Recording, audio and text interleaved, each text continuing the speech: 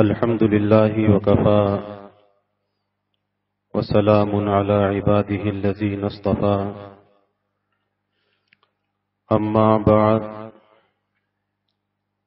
فأعوذ بالله من الشيطان الرجيم. بسم الله الرحمن الرحيم. الحج أشهر معلومات. فمن فرض فيهن الحج فلا رفث ولا فسوق ولا جدال في الحج وما تفعلوا من خير يعلمه الله. قال النبي صلى الله عليه وسلم، من حج لله فلم يرفث ولم يفسق، رجع يوم ولدته أمه، أو كما قال عليه الصلاة والسلام. رب اشرح لي صدري ويسر لي أمري واحلل عقدة من لساني يفقه قولي سبحانك لا علم لنا إلا ما علمتنا إنك أنت العليم الحكيم إن الله وملائكته يصلون على النبي يا أيها الذين آمنوا صلوا عليه وسلموا تسليما. اللهم صل على محمد عبدك ورسولك وصل على المؤمنين والمؤمنات والمسلمين والمسلمات. صدق الله العظيم وصدق رسوله النبي الكريم. ونحن على ذلك لمن الشاهدين والشاكرين. والحمد لله رب العالمين. بہت ہی خوش نصیب ہیں وہ حضرات مرد و خواتین کہ جنہیں اللہ تعالی نے اس سال آنے والے حج کے لیے اپنے گھر آنے کی سعادت سے نوازا۔ اس دنیا میں انسان کو بہت سی خوشیاں میسر آتی ہیں۔ وہ خوشیاں مالی اعتبار سے بھی ہوتی ہیں، مختلف نعمتوں کے اعتبار سے ہوتی ہیں۔ لیکن یہ حج بیت اللہ کی جو خوشی ہے اور یہ سعادت ہے کہ یہ تمام خوشیوں سے بڑھ کر ہے۔ دنیا کے اندر انسان کو بہت سی نعمتیں ملتی ہیں، راحتیں، خوشیاں ملتی ہیں۔ لیکن اس کا فائدہ، اس کا نفع انسان کی دنیا تک محدود رہتا ہے۔ لیکن یہ حج ایک ایسی عبادت ہے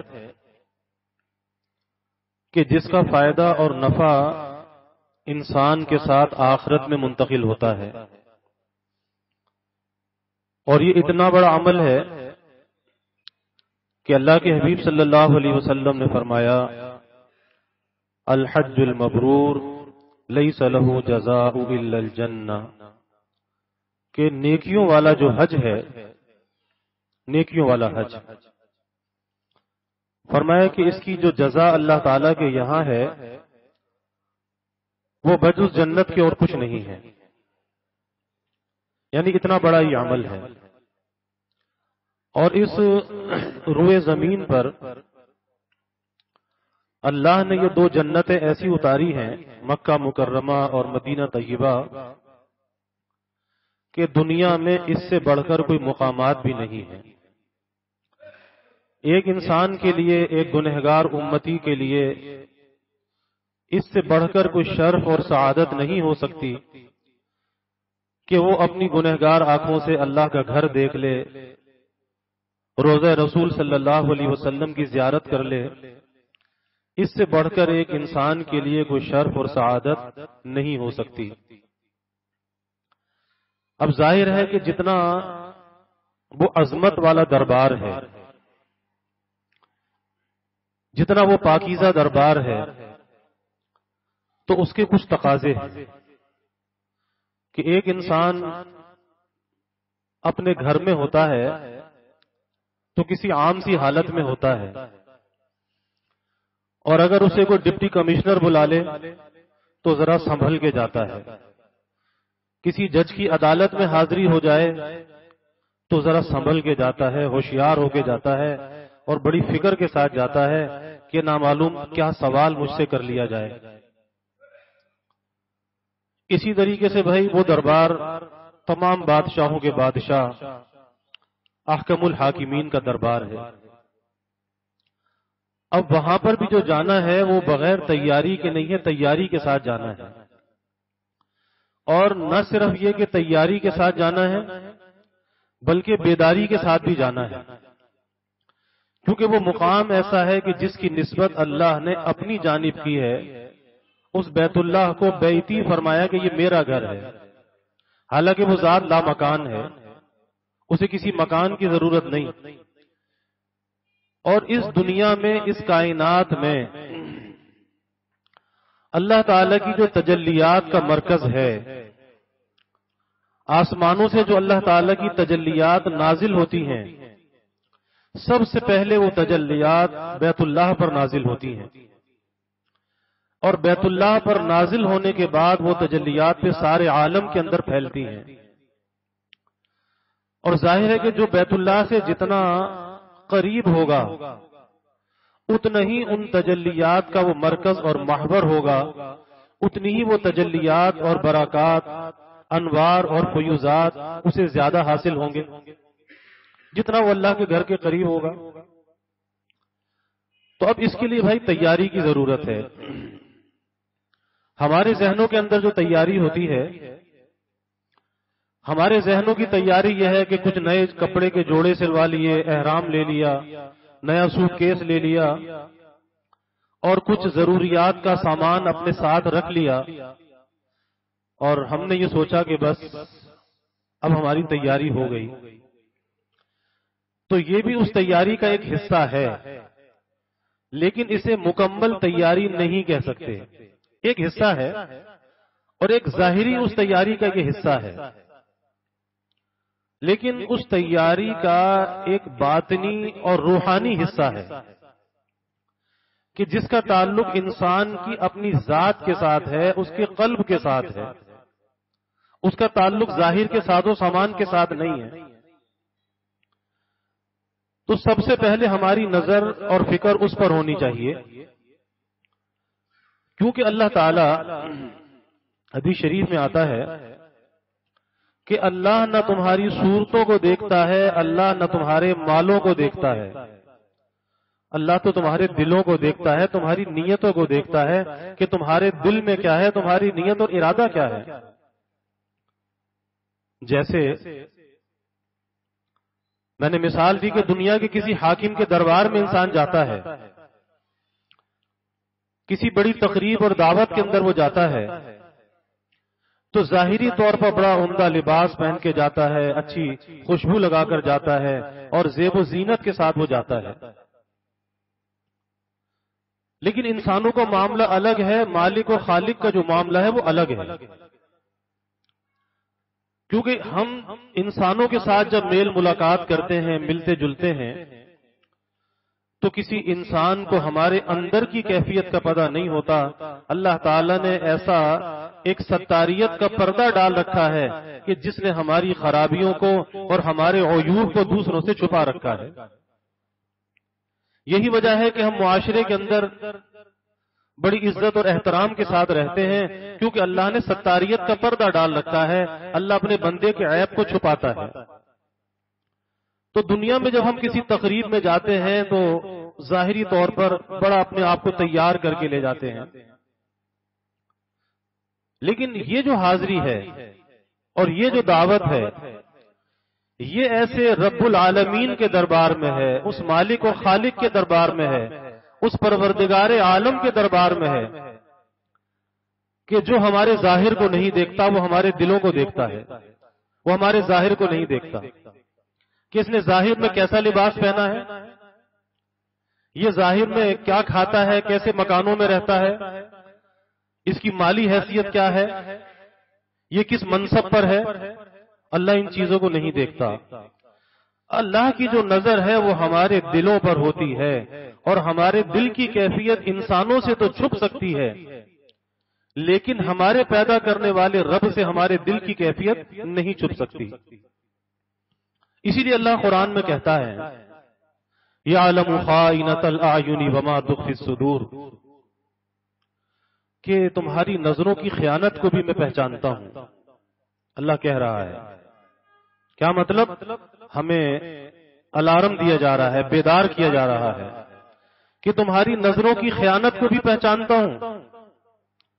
کہ تم کس کو کس نظر کے ساتھ دیکھتے ہو۔ کوئی انسان پہچانے یا نہ پہچانے لیکن وہ رب پیدا کرنے والا مالک و خالق پہچانتا ہے کہ تمہاری نظروں کے اندر کتنی خیانت ہے اور کتنی امانت ہے، وہ رب اس کو پہچانتا ہے۔ اور اس سے بڑھ کر، تمہارے سینوں میں جو چھپی ہوئی باتیں ہیں، جو خفیہ راز ہیں، فرمایا کہ اس کو بھی جانتا ہوں، اس کو بھی جانتا ہوں۔ تو میں عرض کر رہا ہوں کہ یہ ایسے مالک اور خالق کے دربار میں حاضری ہے کہ جو علیم بذاتی صدور ہے، اس کا علم جو ہے وہ ساری کائنات کے ذرے ذرے پر محیط ہے، ذرے ذرے کی حقیقت کو جاننے والا۔ اور پھر اللہ نے قرآن فرمایا اللہ یعلم من خلق؟ کہ کیا وہ تمہیں نہیں جانے گا جس نے تمہیں پیدا کیا؟ وہ لطیف الخبیر، کہ وہ تو بہت ہی باریک بھی ہے جاننے والا ہے، باخبر ہے۔ یعنی اس سے انسان اپنی کیفیت کو نہیں چھپا سکتا۔ تو پتہ یہ چلا کہ جب اس پاک دربار میں حاضری ہے، تو بھائی جیسے ایک ظاہر کی تہارت ہوتی ہے۔ ظاہر کی تہارت اور غسل سے انسان اپنے ظاہر کے میل اور کچیل کو دور کرتا ہے۔ اسی طرح اس سے کہیں زیادہ جو ہمارے دلوں کے اندر گناہوں کی آلودگی ہے، دنیا کی محبت ہے، ہرس و حوث ہے، حسد ہے، بغض ہے کینا ہے، نفرت ہے، عداوت ہے، یہ ساری غلازتیں ہیں، یہ ساری نجاستیں ہیں۔ تو اس پاک دربار میں حاضری سے پہلے پہلے ہمیں اپنے دل کی ان غلازتوں کو، ان نجاستوں کو دور کرنا چاہیے۔ یہ انسان کی باطن کی تیاری ہے اور اس کی روح کی تیاری ہے۔ اس کے قلب کی تیاری ہے۔ کیونکہ اللہ ہمارے دل کو دیکھتا ہے کہ کس دل کے ساتھ آیا ہے، یہ کس کیفیت کے ساتھ آیا ہے۔ اور یہ بات ہمیں ذہنوں میں رکھنی چاہیے کہ اللہ تعالیٰ کسی بھی عمل کی کمیت کو نہیں دیکھتا کہ اس نے کتنا عمل کیا۔ اس نے دو رکت نماز پڑھی یا دو سو رکت نماز پڑھی، اللہ اس کو نہیں دیکھتا۔ اللہ عمل کی کیفیت کو دیکھتا ہے کہ اس نے کس کیفیت کے ساتھ یہ عمل کیا ہے۔ اس کے دل کی کیا کیفیت تھی؟ اگر دل کی کیفیت اچھی تھی تو وہ دو رکت نماز دو سو رکت پر بھاری ہے۔ اور اگر دل کی کیفیت نہیں تھی تو بھائی پھر وہ دو سو رکت بھی کسی کام کی نہیں۔ تو اصل چیز اپنے باطن کی تیاری ہے۔ اور اس میں سب سے جو بنیادی چیز ہے، سب سے جو پہلی چیز ہے وہ ہے اپنی نیت کا خالص کرنا۔ اپنی نیت کا خالص کرنا۔ یعنی انسان جو بھی عمل کرے، اللہ کو راضی کرنے کے لیے کرے، یہ کسی بھی عمل کی روح اور اس عمل کی یہ جان ہے۔ عمل چاہے کتنا ہی بڑے سے بڑا کیوں نہ ہو اور حج سے بڑھ کر کون سا عمل ہوگا۔ لیکن اگر اس عمل میں اس کی روح نہ پائی جائے وہ عمل اللہ کی رضا کے لیے نہ کیا جائے، وہ نام و نمود کے لیے کیا جائے، وہ شہرت کے لیے کیا جائے، وہ دکھلاوے کے لیے کیا جائے، وہ تفاخر کے لیے کیا جائے، لوگوں میں بڑا بننے کے لیے کیا جائے۔ تو ظاہر ہے کہ عمل تو بہت بڑا ہے، اس میں تو کوئی کلام نہیں، لیکن اللہ کی بارگاہ میں یہ عمل پسند نہیں ہے۔ یہ عمل اللہ کو پسند نہیں، کیونکہ یہاں پہ نام و نمود ہے، شہرت ہے۔ اور اللہ اس دکھلاوے کو پسند نہیں کرتا۔ اس لیے سب سے پہلی چیز کیا ہے؟ پہلا سبق، اپنی نیت کو خالص کر یا اللہ، میرا یہ عمل آپ کی رضا کے لیے ہے۔ یا اللہ، یہ عمل آپ کو راضی کرنے کے لیے ہے۔ اس سے کوئی شہرت مقصود نہیں، نام و نمود مقصود نہیں، ریا اور دکھلاوا مقصود نہیں۔ کیونکہ اللہ کے حبیب صلی اللہ علیہ وسلم ہمیں بہت سی باتوں سے آگاہ فرما گئے۔ اور یہ آپ کا احسان ہے کہ جن باتوں سے آپ نے ہمیں آگاہ فرمایا، واللہ اس میں ہمارا فائدہ ہے، ہمارے نبی صلی اللہ علیہ وسلم کا کوئی فائدہ نہیں تھا۔ لیکن چونکہ آپ کو ہم سے ایک تعلق، ایک محبت، ایک شفقت کا تعلق تھا امت کے ایک ایک امتی سے تعلق ایسا شفقت کا تھا کہ آپ کسی کا نقصان گوارا نہیں فرماتے تھے۔ اس لیے ہمیں آگاہ فرما گئے کہ دیکھو، جو باتیں میں کہہ رہا ہوں، ذرا اسے اپنے سامنے رکھنا۔ حدیث شریف میں آتا ہے۔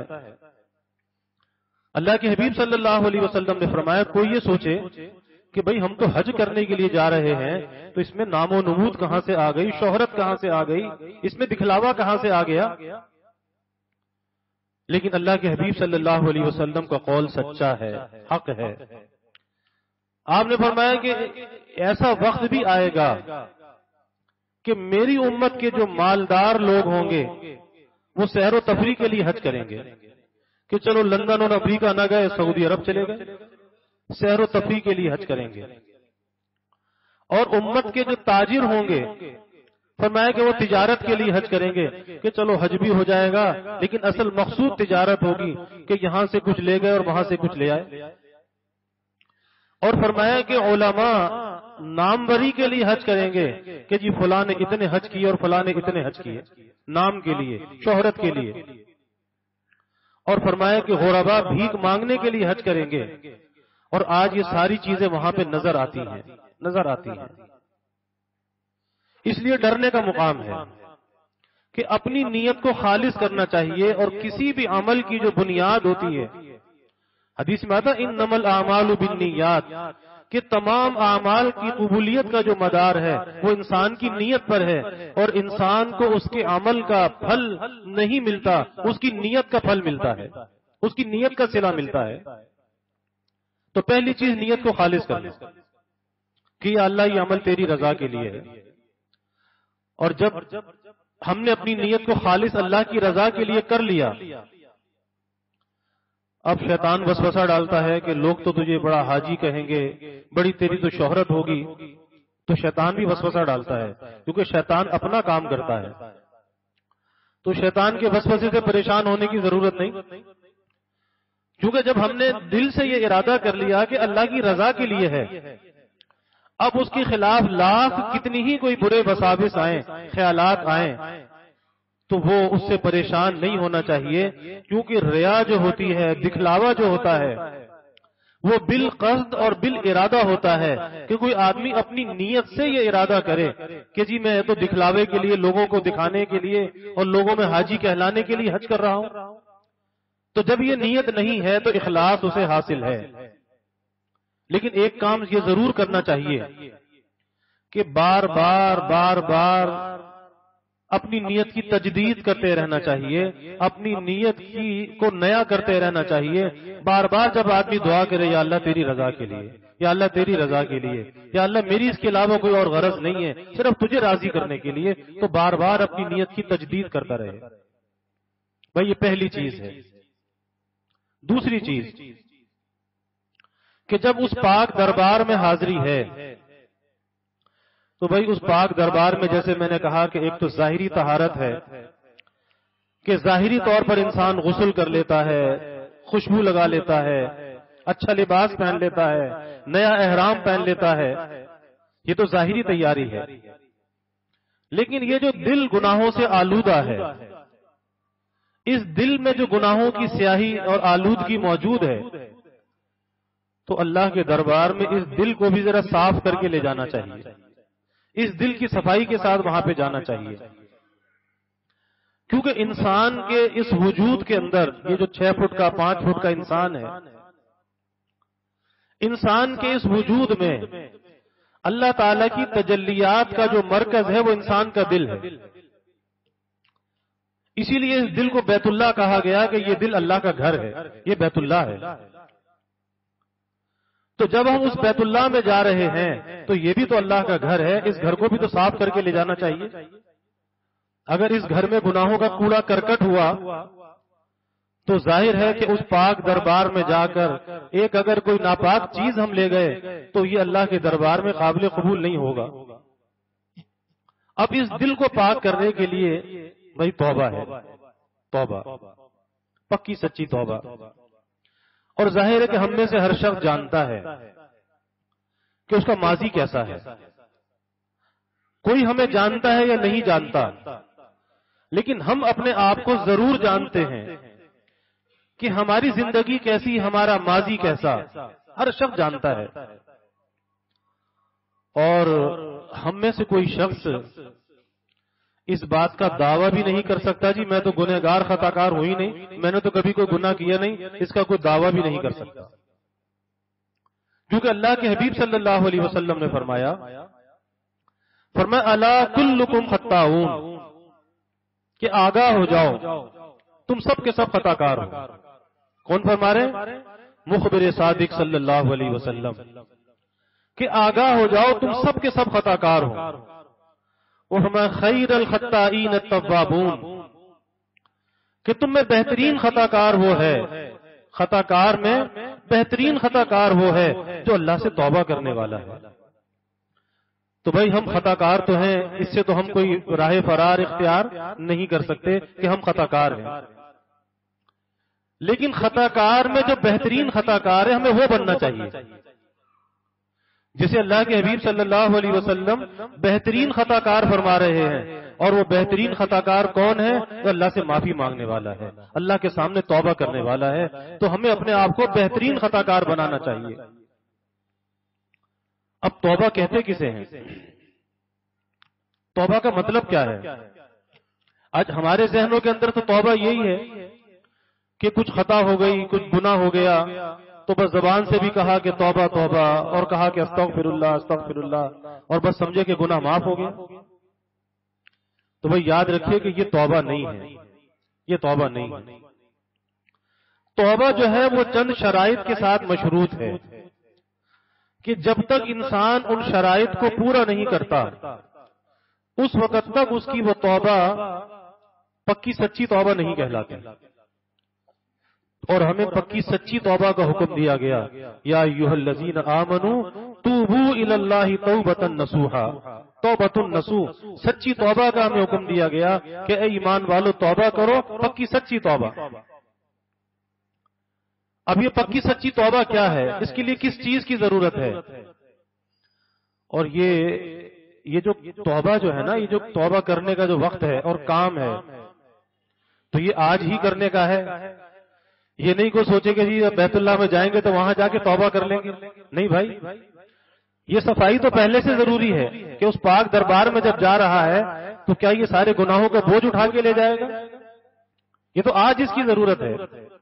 اور حقیقت تو یہ ہے کہ انسان کو رات کو سونے سے پہلے روزانہ اللہ سے معافی مانگ کے سونا چاہیے اور توبہ کر کے سونا چاہیے۔ وہ بھی کیا انسان کہ رات کو سوئے اور گناہوں کا بوجھ اس کے سر کے اوپر ہو۔ ارے بھائی، سونے کے بعد ایسے واقعات بھی پیش آتے ہیں کہ آدمی سونے کے بعد بیدار نہیں ہوتا، سوتا ہے تو سوتا ہی رہ جاتا ہے۔ ایسے واقعات پیش آتے ہیں۔ تو یہ تو ہماری زندگی کا کوئی دن ایسا نہیں گزرنا چاہیے کہ جس میں ہم اللہ کی بارگاہ میں توبہ نہ کریں اور رات کو سونے سے پہلے توبہ کر کے نہ سوئیں، اللہ سے معافی مانگ کے نہ سوئیں، کوئی دن ایسا نہیں ہونا چاہیے۔ اب توبہ کہتے کسے ہیں؟ بھائی توبہ نام ہے ندامت کا۔ حدیث شریف میں آتا ہے کہ توبہ نام ہے ندامت کا، پشیمانی کا۔ کہ ایک انسان جب یہ سوچتا ہے اور کبھی سوچنا ضرور چاہیے، تنہائی میں بیٹھ کے، خلوت میں بیٹھ کے، کہ جہاں پر وہ ہو اور مولا ہو اور اس کی تنہائی میں کوئی بھی نہ ہو۔ کہ میرے رب کے مجھ پر کتنے احسانات، کتنے انعامات۔ کتنی اللہ نے مجھے نعمتوں سے نوازا۔ اور اتنی نعمتوں سے نوازا، اتنی نعمتوں سے نوازا کہ اللہ قرآن میں خود کہتا ہے وہ انتہد نعمت اللہ تحسوہا کہ اگر میری نعمتوں کو شمار کرنا چاہو تو وہ نعمتیں اتنی ہیں کہ اسے شمار بھی نہیں کر سکتے۔ اتنی نعمتیں۔ ہیں اور وہ ہم میں سے ہر شخص کے شامل حال ہے اتنی نعمتیں۔ تو کبھی تنہائی میں بیٹھ کر سوچنا تو چاہیے کہ میرے رب کا معاملہ عطا کا ہے، کہ وہاں سے عطا ہی عطا۔ اور میرا معاملہ کیا ہے؟ کہ یہاں سے خطا ہی خطا۔ اور باوجود میری خطا کے، وہ رب اس بات پر قادر ہے کہ میری نعمتوں کو چھین لے، میری نعمتوں کو روک لے۔ لیکن پھر میرا رب مجھ پر مہربان کہ جس آنکھ سے اس کی نافرمانی کی جائے، وہ اس بات پر قادر ہے کہ اسے بینائی کو چھین لے۔ جس زبان سے اس کی نافرمانی کی جائے، وہ اس پر قادر ہے کہ اس زبان سے گویائی کو ختم کر دے۔ جن کانوں سے اس کی نافرمانی کی جائے، وہ اس پر قادر ہے کہ اس میں سماعت کو ختم کر دے، کیونکہ وہ قادر مطلق ہے۔ لیکن پھر اس کا کیا معاملہ؟ کہ ادھر خطا ہوتی ہے، ادھر وہ ستاریت کی چادر میں ڈھانپ لیتا ہے، میرے عیب کو چھپا لیتا ہے۔ نعمتی بھی دی ہوئی اس کی، وجود بھی دیا ہوا اس کا، صحت اور جوانی بھی دی ہوئی اس کی، مال بھی دیا ہوا اس کا۔ اور میں نے استعمال کہاں پہ کیا؟ اس کی نافرمانی میں۔ تو تنہائی میں بیٹھ کے سوچنا ضرور چاہیے۔ اور ہر ہر نعمت ہر ہر نعمت پکار پکار کر ہمیں دینے والے کو یاد دلاتی ہے کہ دیکھو یہ کھا رہے ہو، پی رہے ہو، مکانوں میں رہ رہے ہو، سواریاں استعمال کر رہے ہو۔ ارے، کس نے دی ہے اس رب نے دی ہے ہر ہر نعمت ہمیں یاد دلاتی ہے۔ کیسے یاد دلاتی ہے؟ یہ تو ہماری غفلت ہے کہ ہمیں یاد نہیں آتی۔ کہ ایک دوست اگر کسی دوست کو کوئی گفٹ دیتا ہے تو پانچ سال کے بعد بھی، دو سال کے بعد بھی جب اسے دیکھتا ہے، تو یاد آتا ہے کہ دیا کس نے تھا، فلاں نے دیا تھا۔ تو اس کا وہ ہدیہ، وہ تحفہ، اس کی یاد دلاتا ہے یا نہیں دلاتا؟ اور یہاں تو سر سے پیر تک اللہ کی نعمتوں میں غرق ہیں ڈوبے ہوئے ہیں۔ پھر ہمیں اللہ یاد نہیں آتا؟ اور اس کی نعمتوں کو، اس کی مرضی کے خلاف استعمال کرتے ہیں۔ اس کی نامرضیات کے اندر استعمال کرتے ہیں۔ تو تنہائی میں بیٹھ کے بھائی سوچنا چاہیے۔ جب انسان اس بات کو سوچتا ہے، تو دل میں ایک ندامت، ایک پشیمانی آتی ہے کہ میں کتنا بڑا مجرم ہوں، کتنا بڑا قصوروار ہوں۔ آج تک تو اپنے کو بے قصور سمجھتا رہا۔ آج تک تو اپنا موتقب بنا رہا کہ میں تو بہت ہی نیک اور سالے ہوں، لیکن آج پتا چلا کہ میں کتنا بڑا گنہگار ہوں۔ تو ندامت اس کے دل کے اندر پیدا ہوتی ہے۔ اور پھر ندامت جب دل کے اندر آتی ہے، تو یہ ندامت، یہ پشیمانی اسے توبہ کے دروازے پہ لے جاتی۔ اب اس کے بعد جو جو گناہ کیے ہیں، جو جو برائی کی ہر انسان جانتا ہے، کہ کون کس کیسی برائی کے اندر مبتلا ہے، ہر انسان کو اپنی کیفیت کا پتہ ہوتا ہے۔ تو بھائی ان گناہوں کو چھوڑ دے۔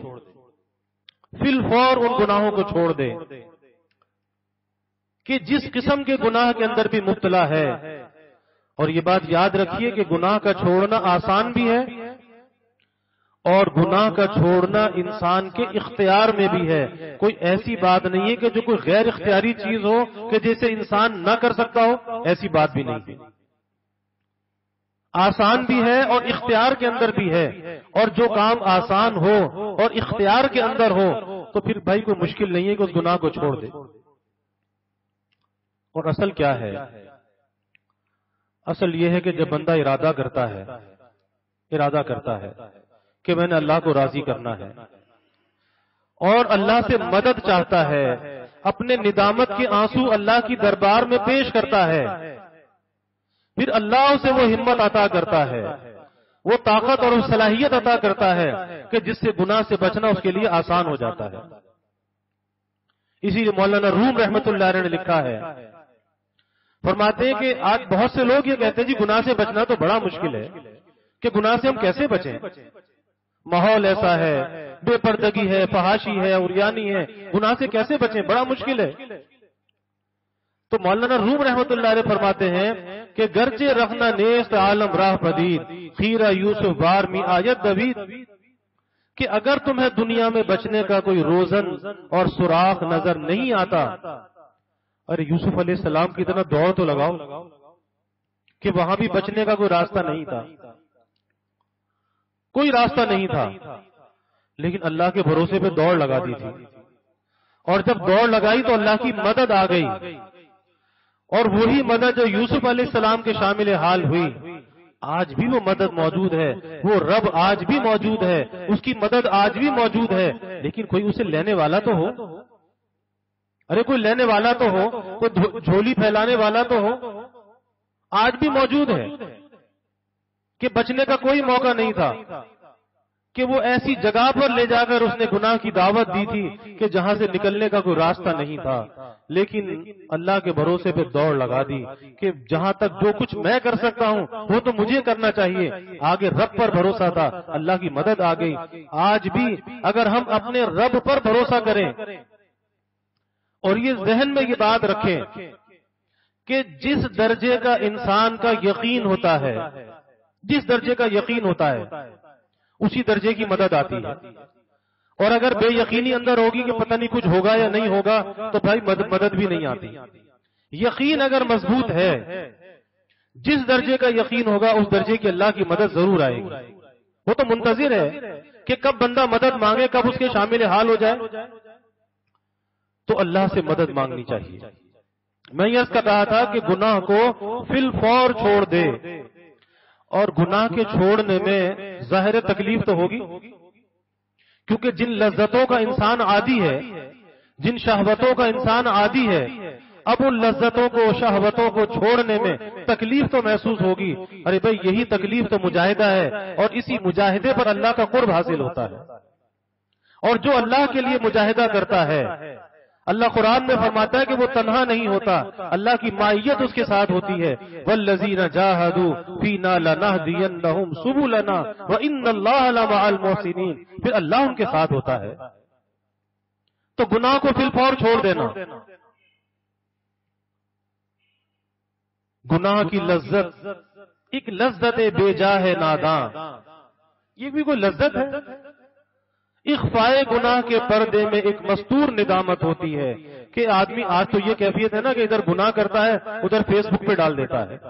اپنے گناہ پہ خود گواہ بناتا ہے، اپنے گناہ کی خود تشہیر کرتا ہے۔ ارے بھائی، ڈرنے کا مقام ہے۔ اللہ تو چھپاتا ہے اور تو گناہ کو، برائی کو پھیلاتا ہے۔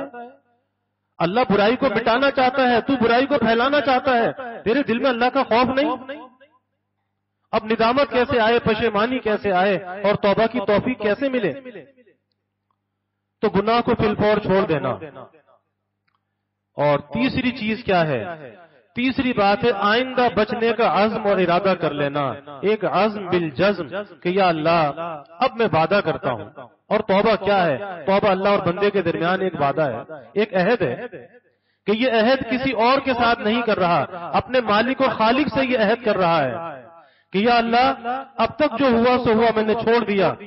اور آئندہ میں کسی گناہ اور برائی کے قریب نہیں جاؤں گا۔ ابھی اللہ سے عہد کر لے، اللہ سے وعدہ کر لے۔ ابھی اس کی توبہ ہو گئی۔ لیکن اس میں ایک چوتھی چیز اور بھی ہے۔ اور بالخصوص حجاج کرام کے لیے کہ جو اللہ کے گھر جا رہے ہیں۔ چوتھی چیز یہ ہے کہ اگر کسی کا کوئی جانی مالی حق ہے، تو بھائی اس کو ادا کر کے جائے یا معاف کرا کے جائے۔ اگر یہ چوتھی شرط انسان پوری نہیں کرتا۔ اللہ کا کوئی حق ہے بندوں کا کوئی حق ہے۔ اسے ادا کرے یا معاف کرائے۔ اللہ کا حق کیا ہے؟ مثلا آدمی بالغ ہو جاتا ہے۔ بالغ ہونے کے بعد شریعت کے احکامات اس پر لازم ہو جاتے ہیں۔ نماز فرض ہو گئی روزہ فرض ہو گیا۔ اگر مال آ گیا صاحب نصاب ہوا زکوٰۃ فرض ہو گئی صدقہ فطر واجب ہو گیا۔ اور بالغ ہونے کے بعد نماز قضا کی، رمضان کے روزے چھوڑے، زکوٰۃ فرض تھی، زکوٰۃ ادا نہیں کی۔ تو یہ اللہ کے بندے کے ذمے حق ہے۔ اور یہ اللہ کے حق جو بندے کے ذمے ہیں، بھائی جب تک اسے ادا نہیں کرتا، یہ توبہ سے معاف نہیں ہوتے۔ توبہ سے معاف نہیں ہوتے۔ اس لیے اپنی قضا نمازوں کا حساب لگانا چاہیے کہ میرے ذمے قضا نمازیں کتنی ہیں۔ کہ بلوغت کے بعد سے میں نے کتنی نمازیں پڑھی، کتنے سال کی باقی ہیں؟ کتنے سال میں نے روزے رکھے، کتنے سال کے روزے باقی ہیں؟ اسے ادا کرنا شروع کرنا چاہیے، اسے لکھ کر رکھنا چاہیے کہ میرے ذمے اتنی نمازیں ہیں، اتنے روزے ہیں۔ اگر میرا انتقال ہو جائے تو میرے مال سے سب فدیہ دے دیا جائے، اس کا وسیعت نامہ لکھا ہوا ہونا چاہیے۔ اور بالخصوص حجاج کرام کو کہ حج پر جانے سے پہلے اپنا وسیعت نامہ لکھ کے جانا چاہیے۔ کیونکہ یہ حج کا سفر ایسا ہے کہ جیسے سفر آخرت ہے، یہ حج کا سفر سفر آخرت کی یاد دلاتا ہے۔ ایسے واقعات ہو جاتے ہیں کہ جس کے لیے مقدر میں وہاں کی مٹی لکھی ہوتی ہے اور وہ مٹی اسے پکار رہی ہوتی ہے، وہ جا کے لوگ واپس نہیں آتے۔ تو کوئی ایسے معاملات نہ ہو کہ پیچھے بعد والے دستوں گربا ہوتے رہے اپنا وسیعت نامہ لکھ کے جانا چاہیے کہ میرے مالی معاملات کیا ہیں، میرے عبادتی معاملات کیا ہیں، اسے لکھ کے جانا چاہیے۔ تو یہ اللہ اور بندے کے حقوق۔ اسی طرح سے بندوں کے آپس کے حقوق۔ ایک انسان کا دوسرے انسان کے ذمے جو حق ہے اب اس میں کسی کی جانی کوئی حق تلفی کی ہے، کوئی مالی حق تلفی کی ہے، تو بھائی اسے ادا کرنا چاہیے اور اس سے معافی مانگنی چاہیے۔ مثلا کسی کا قرض لیا تو واپس نہیں کیا۔ تو یاد رکھیے کہ حج سے قرض معاف نہیں ہوتا۔ حج کرنے سے قرض معاف نہیں ہوتا۔ کوئی بھی کسی کا کسی قسم کا حق ہے، کسی کی کوئی چیز اٹھا لی، کسی کی کوئی چیز دبا لی، بغیر اجازت کے کوئی چیز لے لی، پھر واپس نہ دی، کسی بھی قسم کا کوئی حق ہے۔ انسان سوچے، یاد کرے کہ اللہ کے گھر جانے سے پہلے ان معاملات کو صاف کر کے جانا چاہیے۔ یہ بوجھ اپنے سر پہ لے کر نہیں جانا چاہیے، ورنہ اگر یہ بوجھ اپنے اوپر ہوگا تو یاد رکھیے کہ عبادت کا لطف اور مزہ بالکل نہیں آئے گا۔ کیونکہ یہ بوجھ اسے پریشان کرے گا۔ اگر کوئی میراث کا معاملہ ہے تو ہوتا یہ ہے کہ گھر میں باپ کا انتقال ہو گیا اور میراث ساری بھائیوں کے قبضے میں آ گئی اور بھائیوں نے بہنوں کو محروم کر دیا۔ اور بہت سے ایسے بھی ہوتے ہیں کہ دباؤ دے کے معاف کرا لیتے ہیں۔ تو شریعت نے اس معافی کا اعتبار نہیں کیا۔ شریعت کہتی کہ یہ معافی نہیں کہ جیسے بہت سے مرد جو ہیں وہ مہر معاف کرا لیتے ہیں۔ تو بھائی بیوی کا جو مہر ہے وہ تو قرض ہے۔ اسے تو ادا کرنا چاہیے۔ اور یہ تو مرد کی مردانگی کے خلاف ہے کہ مرد ہو کے بیوی سے کہے کہ معاف کر دے۔ تو یہ مہر جو ہے یہ بھی قرض ہے کہ ساری زندگی گزر جاتی ہے، اس کا قرض دینے کا نام نہیں لیتے۔ بھائی، کیوں اپنے آپ کو مقروض رکھتے ہو؟ یہ قرض تو سب سے پہلے ادا کرنا چاہیے۔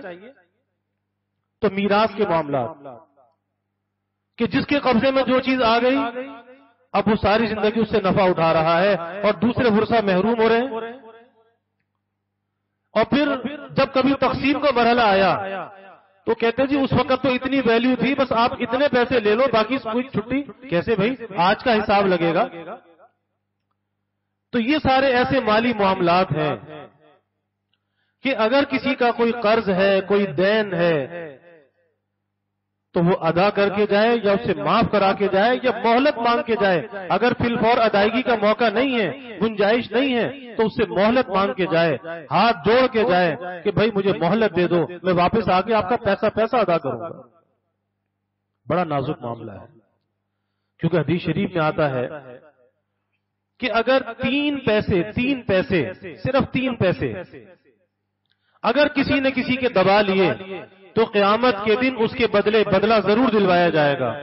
قیامت کا دن ایسا نہیں ہوگا کہ دنیا میں کہہ دیا جاؤ، تھانہ کچہری کھلیے چلے جاؤ، جو کرنا ہے کر لو۔ قیامت کا دن ایسا نہیں ہوگا۔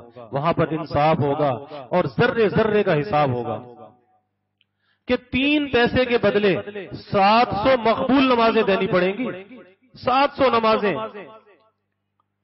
اسی لیے حدیث شریف میں آتا ہے اللہ کے حبیب صلی اللہ علیہ وسلم نے اپنی امت کے مفلس شخص کا حال بیان کیا کہ میری امت کا مفلس شخص کون ہے؟ فرمایا کہ قیامت کے میدان میں آئے گا، میدان حشر میں، اور بہت سی نیکیوں کا ذخیرہ لے کر آئے گا۔ حج بھی کیا ہوگا، عمرے بھی کیے ہوں گے، نمازیں بھی پڑھی ہوں گی، صدقہ خیرات بھی کیا ہوگا۔ لیکن دنیا میں لوگوں کے حقوق غصب کیے ہوں گے۔ اب اس اللہ کی دربار میں لوگ اپنے حق کا مطالبہ لے کر آ جائیں گے۔ لوگ حج و عمرہ کر لیتے ہیں۔ لیکن لوگوں کا جو دین ہے، بہنوں کی جو میراث ہے، وہ نہیں دیتے۔ تو ایسے حج اور عمرے کا کیا فائدہ؟ کہ کسی کا قرض دبا کے حج کرنے چلا گیا، عمرہ کرنے چلا گیا اور بہنوں کی میراث دبا کے بیٹھا ہے۔ یہ کسی صورت میں معاف نہیں۔ فرمایا کہ لوگوں کے حقوق جو غصب کیے ہوں گے، وہ اہل حقوق اپنے حق کا مطالبہ لے کر آئیں گے۔ اللہ کی طرف سے حکم ہوگا، اس کی نیکیاں ان کو دے دی جائیں۔ آیا تھا نیکی کا ذخیرہ لے کر۔ فرمایا اس کی نیکیاں دوسروں کو دے دی جائیں۔ فرشتے اس کی نیکیاں دوسروں کو بانٹ دیں گے۔ اب اس کی نیکیاں تو ختم ہو جائیں گی، لیکن اہل حقوق پھر بھی باقی ہوں گے۔ فرشتے پوچھیں گے کہ یا اللہ کیا کریں؟ حکم ہوگا کہ ان کے گناہ اس کے اوپر ڈال دیا جائے اللہ کے حبیب صلی اللہ علیہ وسلم نے فرمایا کہ یہ میری امت کا مفلس شخص ہے کہ میدان حشر میں آیا اس حال میں تھا کہ نیکیوں کا ذخیرہ اس کے ساتھ تھا، لیکن اب اس حال میں یہ کھڑا ہے کہ دوسروں کے گناہوں کا بوجھ اس کے سر کے اوپر ہے۔ اور میں کہ یہ میری امت کا مفلس شخص ہے۔ اسی لیے حدیث میں آتا ہے کہ قیامت کے دن اللہ تعالی کو یہ اختیار ہوگا کہ اللہ کے حق میں اگر بندے نے کوتاہی کی ہوگی، اللہ کو اختیار ہوگا، اللہ چاہے سزا دے، چاہے معاف کر دے، اللہ کو اختیار ہوگا۔ لیکن بندوں کے حق میں جو کوتاہی کی ہوگی، قیامت کے دن اس کا بدلہ بھائی ضرور دلوایا جائے گا، وہ معاف نہیں ہوگا۔ تو اس لیے جو بندوں کے حقوق بندوں کے ذمے ہیں، اسے فوراً ادا کرنا چاہیے یا معافی مانگنی چاہیے۔ اور بھائی، میری اور آپ کی تو کوئی حیثیت نہیں۔ ہمارے پیارے حبیب صلی اللہ علیہ وسلم، دنیا سے رخصتی کا وقت ہے۔ آپ سہارے کے ساتھ مسجد نبوی میں تشریف لائے۔ اس حال میں کہ آپ چلنے پر بھی قادر نہیں تھے، ممبر پر بیٹھے۔ اور ممبر پر بیٹھ کے اعلان فرمایا کہ لوگوں میرے جانے کا وقت قریب ہے۔ اگر کسی کا کوئی حق میرے ذمے ہے، کوئی جانی حق ہے، مالی حق ہے، تو آج مجھ سے لے لے۔ میں نہیں چاہتا کہ یہ آخرت پہ یہ بوجھ لے کے جاؤں۔ دنیا کا معاملہ دنیا میں صاف ہو جائے۔ اور فرمایا کہ اگر کوئی اپنا مطالبہ کرے گا، تو یہ مت سوچنا کہ میں اس سے ناراض ہو جاؤں گا۔ آج تو لوگ ڈرتے ہیں کہ جی اگر ہم نے اپنا مانگ لیا تو صاحب تو ناراض ہو جائیں گے۔ اور ایسا ہوتا ہے کہ کوئی آدمی اپنا قرض مانگ لے تو دوسرا چڑھ دوڑتا ہے اس کے اوپر۔ ارے بھائی، وہ اپنا حق مانگ رہا ہے۔ پہلے تو آپ کو خود ادا کر دینا چاہیے تھا۔ ایسی نوبت نہیں آنی چاہیے تھی کہ وہ مانگنے کے لیے آپ کے گھر پہ آئے۔ تو اللہ کے حبیب صلی اللہ علیہ وسلم اس بات کی بھی تسلی کرا رہے ہیں کہ دیکھو، اپنا مطالبہ کرنے میں شرمانہ مت۔ یہ مت سوچنا کہ میں ناراض ہو جاؤں گا۔ نہیں۔ بلکہ میں چاہتا ہوں کہ یہ معاملہ دنیا کے اندر صاف ہو جائے۔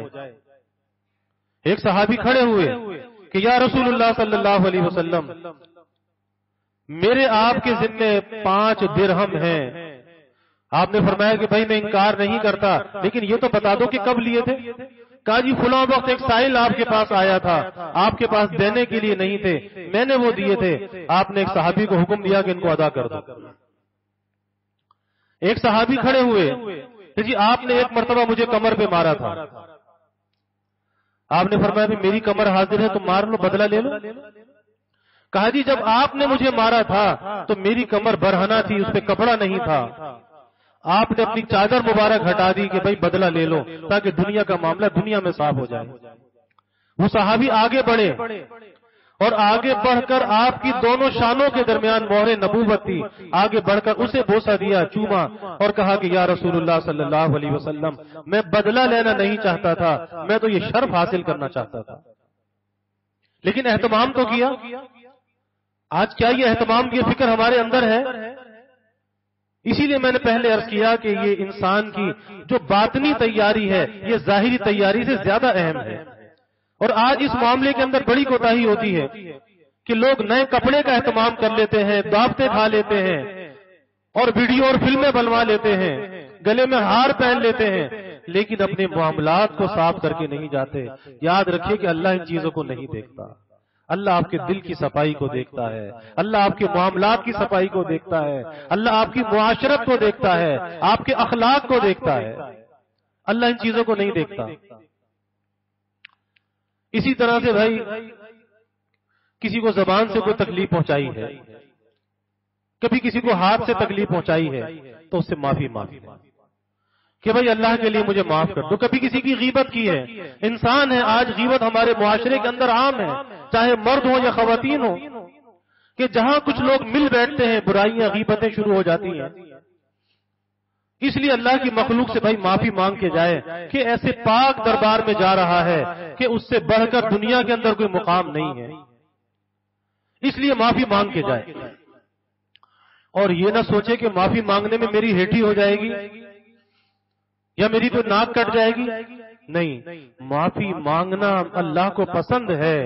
اور معافی مانگنے سے یاد رکھے کہ کبھی انسان چھوٹا نہیں ہوتا، بلکہ اللہ کی نظر میں اور بڑھ جاتا ہے۔ اور ہونا تو یہی چاہیے کہ انسان اللہ کی نظر میں بڑھ جائے معافی مانگ کے جائے۔ اور پہلے زمانے میں تو لوگ اتنی تیاری کے ساتھ جاتے تھے کہ پوری تیاری کے ساتھ کفن بھی ساتھ لے کے جاتے تھے کہ شاید جا کر واپس آنا نصیب نہ ہو۔ ایک ایک سے معاف کرا کے جاتے تھے ایک ایک سے معاملہ صاف کر کے جاتے تھے لینا دینا سب کلیئر کر کے جاتے تھے کہ پتہ نہیں جا کے لوٹنا نصیب ہوگا یا نہیں ہوگا۔ اور بھائی کسی سے دل کے اندر کوئی حسد ہے، کوئی بغض ہے، کوئی کینا ہے۔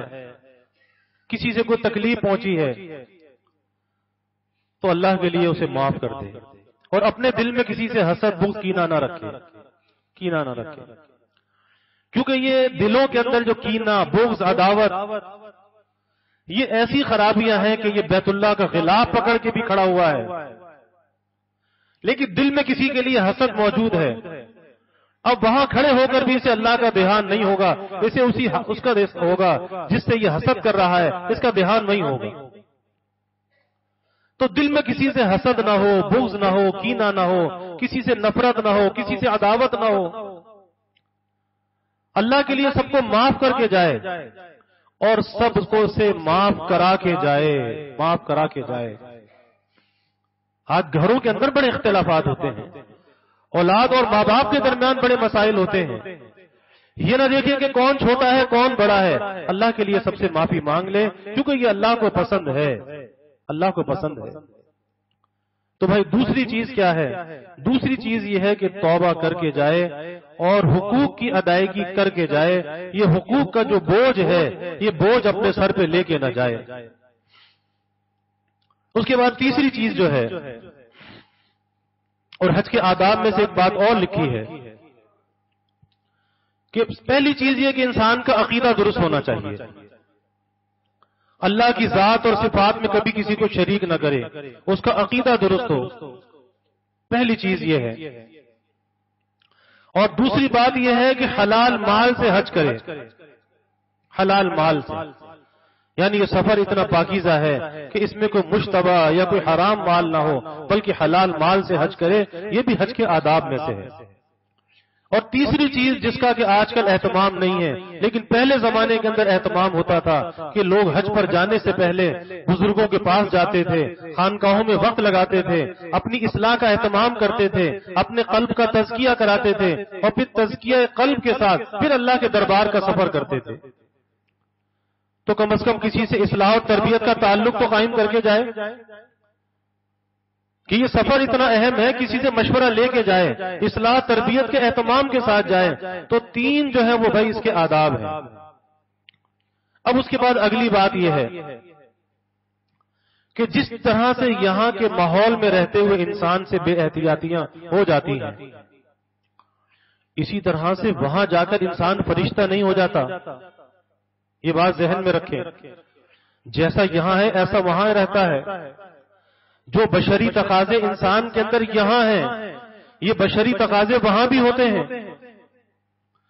اور وہاں جیسے نیکی کے مواقع زیادہ ہیں، اور نیکی کا اجر و ثواب زیادہ ہے، اسی طرح سے بھائی گناہ کے مواقع بھی زیادہ ہیں۔ اور گناہ پر پکڑ اور سزا بھی زیادہ ہے۔ کہ حدود حرم نے مکہ مکرمہ میں ہر نیکی کا ثواب ایک لاکھ کے برابر ہے۔ ہر نیکی کا ثواب۔ پورے حدود حرم میں یعنی پورے مکہ مکرمہ میں جو مکہ شہر کی حدود ہیں ہر نیکی کا ثواب ایک لاکھ۔ لیکن یاد رکھیے کہ ہر گناہ بھی پھر ایک لاکھ کے برابر یہ نہیں کہ نیکی کا ثواب تو ایک لاکھ ملے اور گناہ پر کوئی سزا نہ ہو۔ اس لیے میں نے عرض کیا کہ انسان جیسا یہاں پر ہے، ایسا ہی وہاں پر ہے۔ بشری تقاضے جیسے یہاں پر ہیں، ایسے بشری تقاضے وہاں پر بھی ہیں۔ اور وہاں جا کر احتیاط یہاں سے زیادہ ہے، کیونکہ یہاں ایک گناہ کیا تو ایک گناہ ہے، اور وہاں ایک گناہ کیا تو ایک لاکھ کے برابر ہے۔ اور سب سے زیادہ گناہ انسان کے اس وجود میں، انسان کی آنکھ سے ہوتی ہے۔ انسان کی آنکھ خطا کھاتی ہے۔ انسان کے کان خطا کھاتے ہیں۔ انسان کی زبان خطا کھاتی ہے۔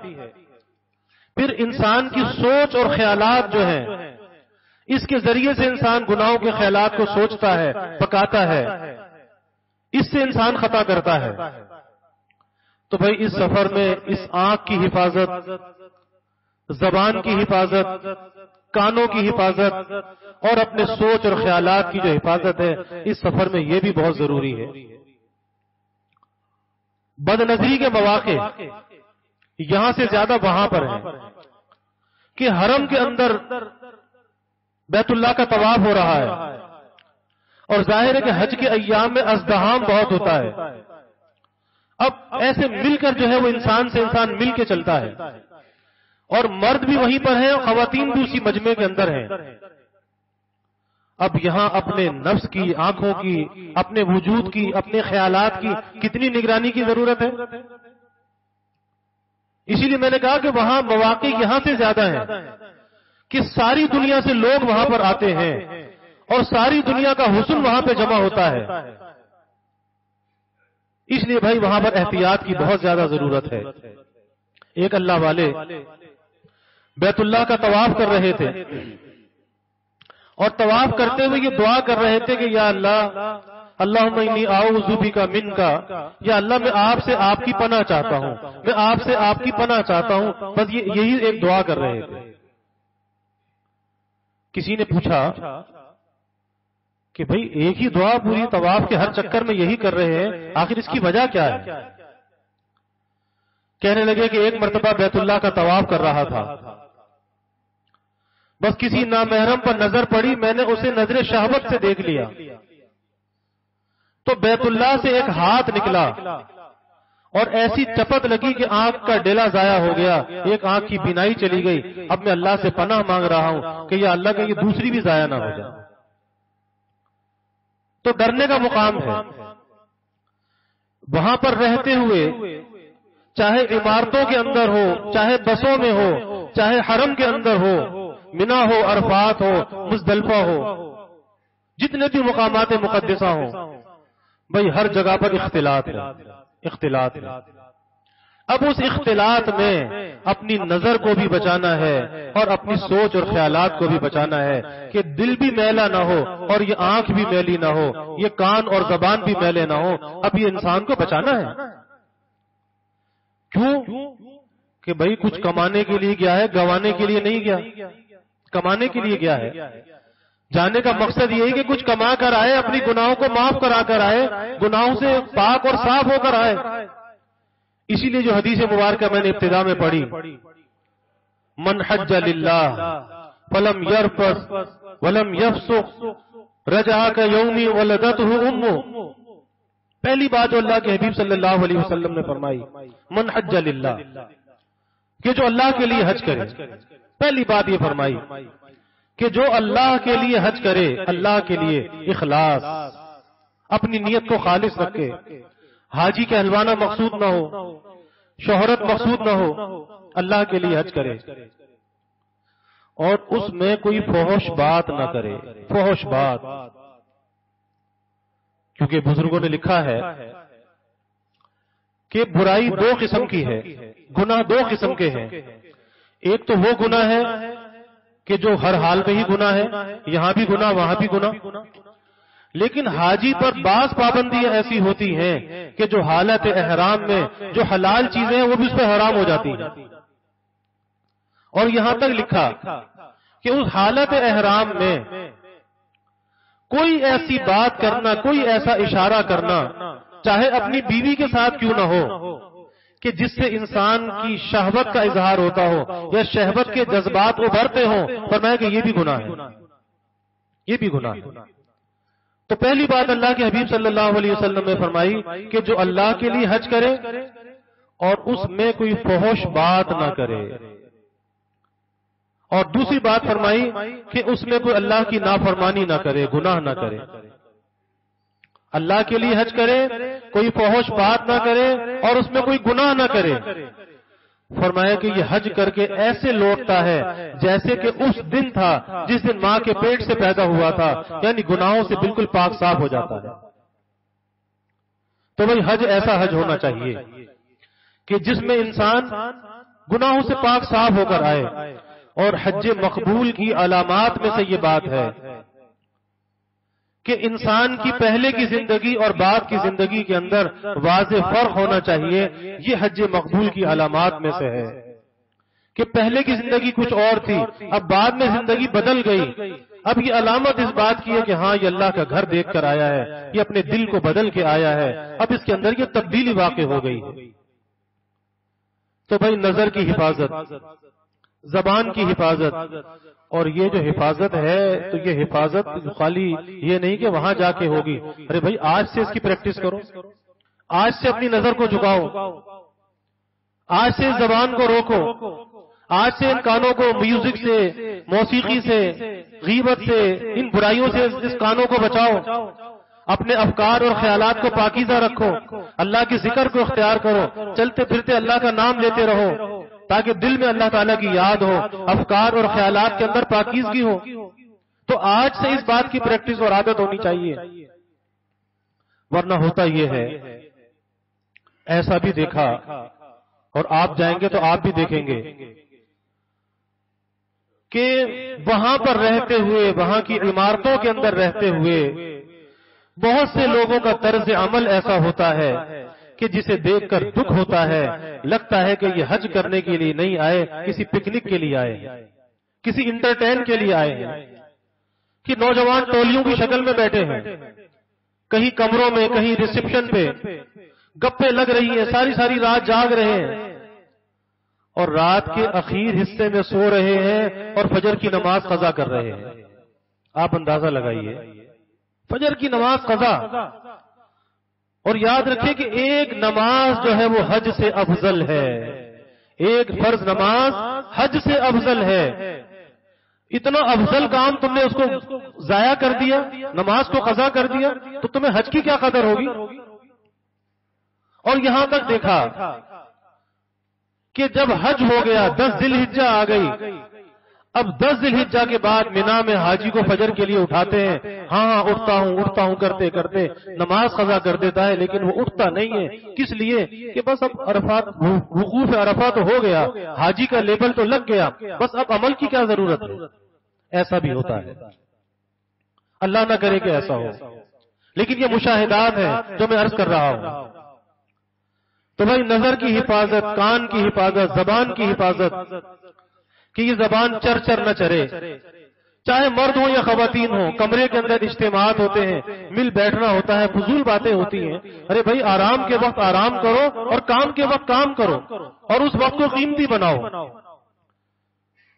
تو بھائی، آج کی یہ چند معروضات تھیں جو ابتدائی میں نے عرض کی۔ کل انشاءاللہ تعالی عمرے کے بارے میں میں عرض کروں گا۔ اب اس کے لیے دو باتیں ذہن میں رکھیے کہ عمرے کے دو فرض ہیں اور دو واجب دو فرض اور دو واجب۔ عمرے کا پہلا فرض ہے احرام کے ساتھ عمرے کی نیت کرنا۔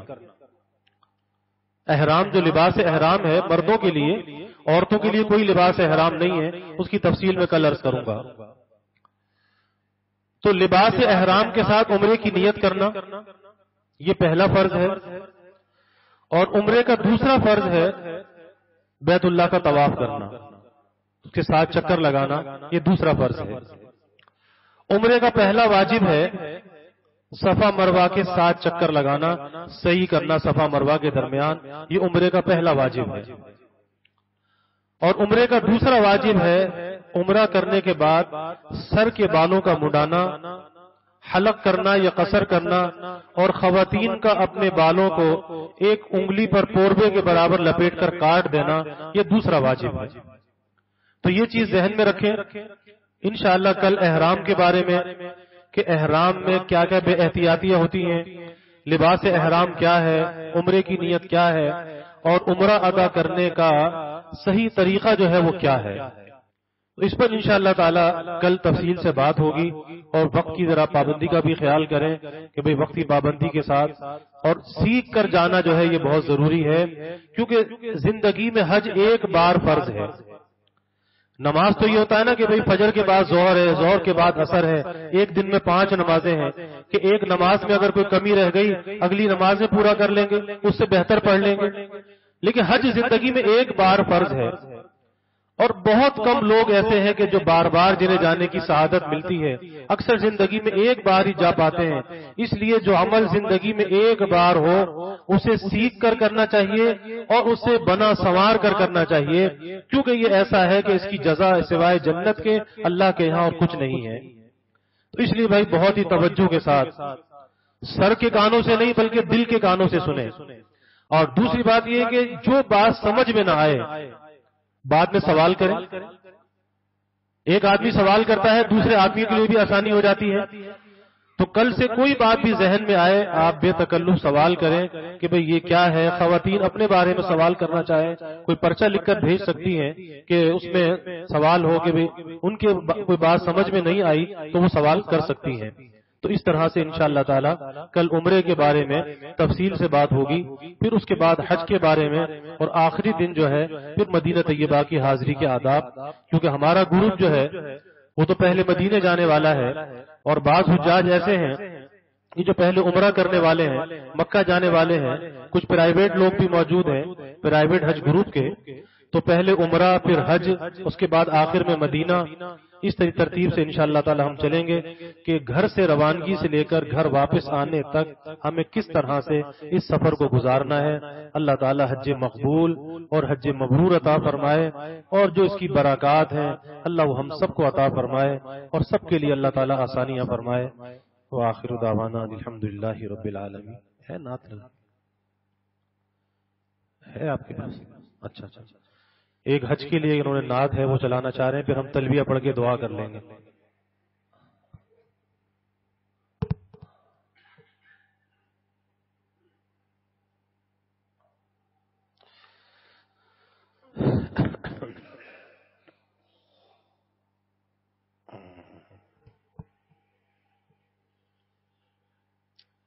جلدی چلاؤ۔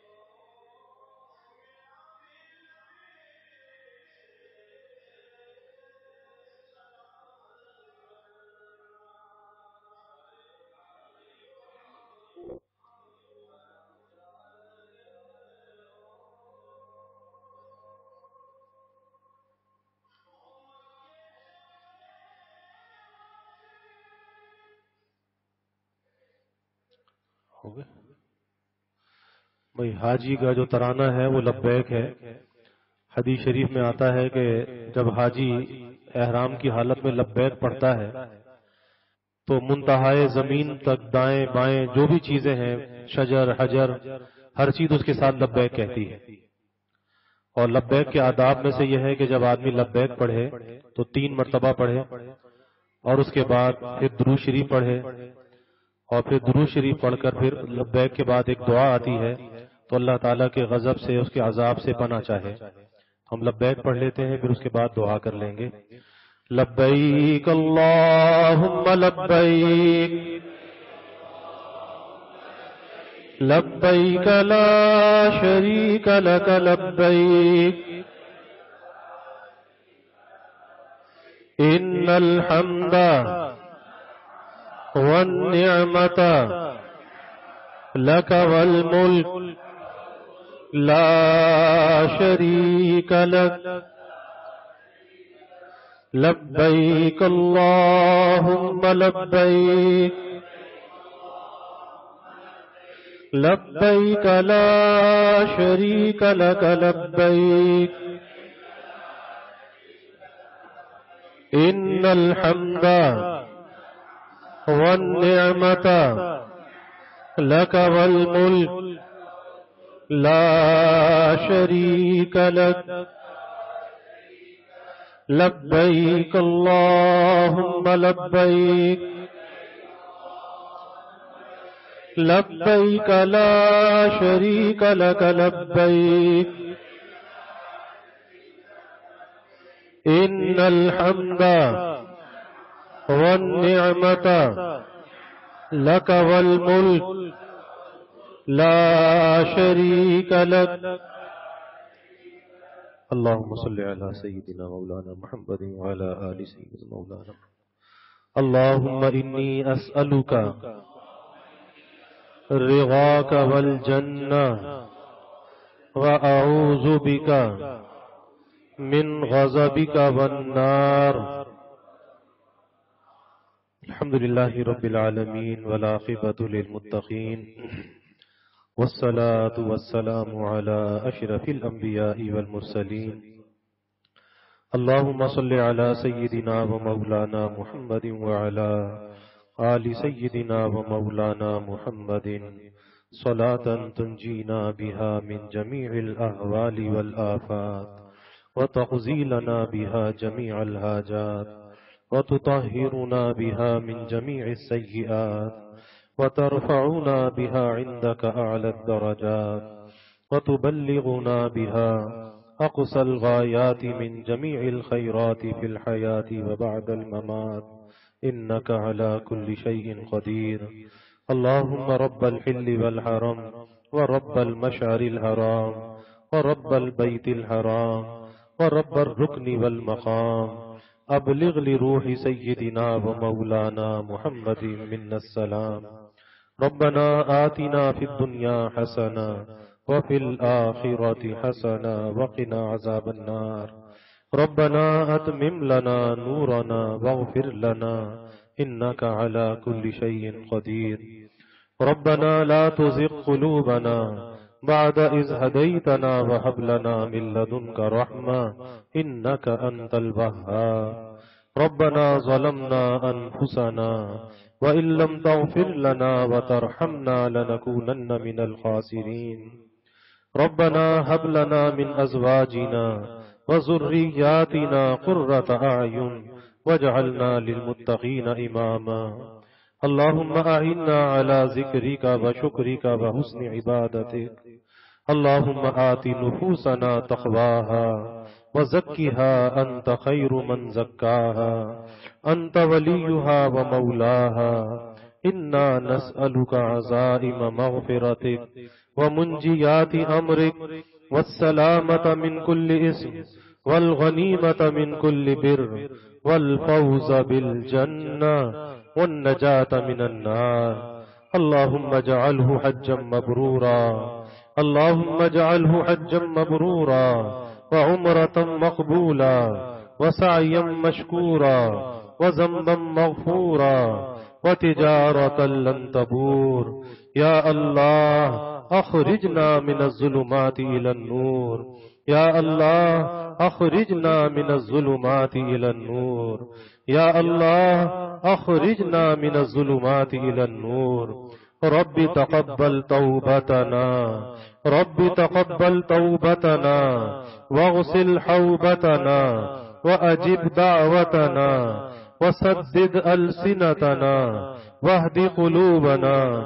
واسلل سخيمة صدورنا. يا حي يا قيوم، برحمتك نستغيث. أصلح لنا شأننا كله. ولا تكلنا إلى أنفسنا طرفة عين. فاطر السماوات والأرض. أنت ولينا في الدنيا والآخرة. توفنا مسلما والهقنا بالصالحين. توفنا مسلما والهقنا بالصالحين. يا رب زدنا علما والهقنا بالصالحين. يا الله يا رحمن يا رحيم. يا كريم يا رحم الراحمين. يا أكرم الأكرمين. یا اللہ ہمارے گناہوں کو معاف فرما. خطایا سے درگزر فرما۔ یا اللہ، اپنی محبت، معرفت عطا فرما۔ اپنی رضا والی زندگی یا اللہ نصیب فرما۔ اپنے رضا والے کاموں کی یا اللہ توفیق عطا فرما۔ یا اللہ، جو حجاج کرام حج کے لیے جا رہے ہیں یا اللہ، سب کے سفروں کو آسان فرما۔ یا اللہ، قبول بھی فرما۔ قدم قدم پر یا اللہ حفاظت فرما۔ اس سفر کو یا اللہ مبارک فرما۔ زندگی میں تبدیلی کا ذریعہ بنا۔ اعمال اور عادات میں تبدیلی کا ذریعہ بنا۔ حسن معاملات اور حسن معاشرت کا ذریعہ بنا۔ حسن اخلاق کا یا اللہ ذریعہ بنا۔ یا اللہ پکی سچی توبہ کی توفیق عطا فرما۔ توبہ نسو کی توفیق عطا فرما۔ اپنی جانب رجوع ہونے والا بنا۔ اپنے ماضی پر ندامت اور پشیمانی عطا فرما۔ اے اللہ گناہوں کو ترک کرنے والا بنا۔ آئندہ بچنے کا عزم بالجزم دلوں میں پیدا فرما۔ یا اللہ ہمارے ذمے جو بھی حقوق ہوں، یا اللہ جو آپ کے حقوق ہوں، یا اللہ جو بندوں کے حقوق ہوں یا اللہ سب حقوق ہم سے ادا کرا دے۔ یا اللہ جو حق تلفیہ ہم نے کی یا اللہ اس کی تلافی کا ہمیں فکر عطا فرما۔ ادائے حقوق کی یا اللہ توفیق عطا فرما۔ حفظ حدود کی یا اللہ توفیق عطا فرما۔ اے اللہ، ہمارے دلوں کا تزکیہ فرما، ہمارے قلوب میں تزکیہ اور تصفیہ عطا فرما، اپنی محبت سے، معرفت سے دلوں کو لبریز فرما، اپنے اغیار سے دلوں کو خالی فرما، اپنی محبت سے دلوں کو لبریز فرما۔ اے اللہ، گناہوں کی ظلمت سے ہمارے دلوں کو پاک فرما، دلوں کی سختیوں کو دور فرما قصاوت کو دور فرما حسد، بغض کینے سے حفاظت فرما، نفرت اور عداوت سے حفاظت فرما، تکبر اور بڑائی سے حفاظت فرما آر اور استقبار سے حفاظت فرما۔ اے اللہ دلوں میں نرمی آجزی زاری پیدا فرما۔ یا اللہ اپنی رضا کے لیے مٹنا نصیب فرما۔ اچھے اخلاق سے ہمارے ظاہر کو، باطن کو یا اللہ آراستہ فرما۔ خلق خدا کے لیے یا اللہ، ہمیں راحت رساں بنا، اذیت رسانی سے ہماری حفاظت فرما، بڑوں کا اکرام کرنے والا بنا، چھوٹوں پر شفقت کرنے والا بنا، خلق خدا سے درگزر کرنے والا بنا۔ اے اللہ، اس سفر کی صحیح تیاری کا ہمیں فکر عطا فرما۔ ظاہری تیاری، باطنی تیاری۔ اے اللہ، ہمیں اس کا فکر عطا فرما۔ اور یا اللہ، وہ تیرا عظمت والا گھر ہے۔ اے اللہ، وہ تیرا عظمت والا گھر ہے۔ ہم گنہگار اور خطا کار ہیں۔ اس گھر کی عظمت ہمارے دلوں میں پیدا فرما۔ حیبت ہمارے دلوں میں پیدا فرما۔ اے اللہ، وہاں کا با ادب قیام نصیب فرما۔ وہاں کی بے ادبی سے بچا، وہاں کی محرومی سے بچا۔ اے اللہ، جو بھی یہاں سے جائے، اے اللہ، اسے نواز دیجیے، اسے قبول فرما لیجیے، اپنا مقبول بنا لیجیے، اپنا پیارا بنا لیجیے۔ اے اللہ، زندگی بھر کے گناہوں کو معاف فرما۔ یا اللہ، زندگی بھر کے گناہوں کو معاف فرما۔ صغیرہ گناہوں کو بھی معاف فرما، کبیرہ گناہوں کو بھی معاف فرما، یا اللہ اعلانیہ گناہوں کو بھی معاف فرما، پوشیدہ گناہوں کو بھی معاف فرما، یا اللہ جو یاد ہے وہ بھی معاف فرما، جو بھول گئے یا اللہ وہ بھی معاف فرما، یا اللہ جو آپ کے علم میں ہے وہ بھی معاف فرما، یا اللہ آئندہ نیکی اور تقوی والی زندگی عطا فرما ہر مین شریفین کے انوار سے، برکات سے فیوزات سے، یا اللہ سب کو مالا مال فرما۔ وہاں کے وقت کی قدردانی عطا فرما۔ ایک ایک لمحے کی قدردانی عطا فرما۔ یا اللہ وہاں غفلت سے بچا، نافرمانی سے بچا، احتیاط عطا فرما۔ دلوں میں اپنا خوف عطا فرما۔ اپنی ذات عالی کا استحزار نصیب فرما۔ اے اللہ پیارے حبیب صلی اللہ علیہ وسلم کے روز اقدس کی با ادب زیارت نصیب فرما۔ وہاں کے انوار اور برکات سے مالا مال فرما۔ اپنے حبیب صلی اللہ علیہ وسلم کا قلب اطہر۔ یا اللہ ہماری جانب سے انہیں راحت عطا فرما، خوشی عطا فرما۔ یا اللہ وہاں کی برکات سے سب کو مالا مال فرما۔ یا اللہ جو پیچھے رہ جانے والے ہیں، اے اللہ جو دلوں میں حسرت اور آرزو رکھتے ہیں، اے اللہ تو سب کے جانے کے اسباب پیدا فرما۔ ان جانے والوں کے صدقے میں یا اللہ، پیچھے رہ جانے والوں کے لیے بھی یا اللہ اسباب پیدا فرما۔ سب کے لیے آسانی عطا فرما۔ بیماروں کو صحت عطا فرما۔ پریشان حالوں کی پریشانیوں کو دور فرما۔ جو حجاج کرام میں بیمار ہیں، کمزور ہیں، اے اللہ اپنے فضل خاص سے اچھی صحت عطا فرما۔ سفر کو آسان فرما، قدم قدم پر حفاظت فرما، ہر پریشانی سے بچا، ہر مشکل کو آسان فرما۔ یا اللہ، قدم قدم پر آسانیاں شامل حال فرما۔ یا اللہ، جو مانگا وہ بھی عطا فرما، جو نہ مانگ سکے وہ بھی عطا فرما۔ سب کے علم میں، عمل میں، رزق میں خوب خیر و برکت عطا فرما۔ اب باب رزق یا اللہ کشادہ فرما۔ یا اللہ، کبھی مخلوق کا محتاج نہ بنا۔ ہمیشہ اپنے در کا سائل اور بیکاری بنا، اپنے در کا منگتا اور سوالی بنا، اپنے غیر سے ہماری امیدوں کو قطع فرما، اپنی ذات عالی کا یقین یا اللہ دلوں کے اندر پیدا فرما، ہمیشہ اپنے سے مانگنے والا بنا، ایمان کی ترقی عطا فرما آزا کی سلامتی عطا فرما، ہر محتاجی معذوری سے بچا، دلوں کے نیک ارادوں کو، آرزوؤں کو، تمناؤں کو یا اللہ از غیب پورا فرما۔ یا اللہ ہمیں دین، دنیا، آخرت کی ہر بلائی عطا فرما، ہر خیر عطا فرما، قدم قدم پر ہماری رہنمائی فرما، آسانی فرما یا اللہ ہر خیر، ہر بلائی عطا فرما۔ ہر شر سے، فتنے سے حفاظت فرما۔ یا اللہ حاضری حرمین میں جو برکات اور فیوزات آپ نے رکھے ہیں، جو انعامات آپ نے رکھے ہیں، ظاہری نعمتیں، باطنی نعمتیں جو رکھی ہیں، یا اللہ وہ ہم سب کو عطا فرما۔ کسی کو بھی محروم نہ فرما۔ یا اللہ ہمیں عافیت دارین عطا فرما۔ عافیت دائمہ عطا فرما۔ ربنا تقبل منا۔ إنك أنت السميع العليم. وتب علينا إنك أنت التواب الرحيم. وجز الله عنا محمدا صلى الله عليه وسلم ما هو أهله. سبحان ربك رب العزة عما يصفون. وسلام على المرسلين. والحمد لله رب العالمين. آمين برحمتك يا رب